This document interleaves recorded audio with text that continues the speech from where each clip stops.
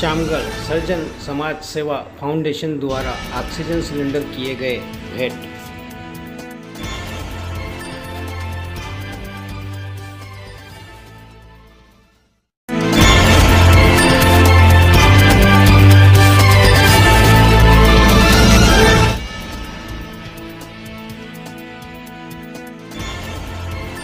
गरोट सेवा समिति द्वारा 200 कुंटल लकड़ी गरीबों के दाह संस्कार हेतु की भेंट।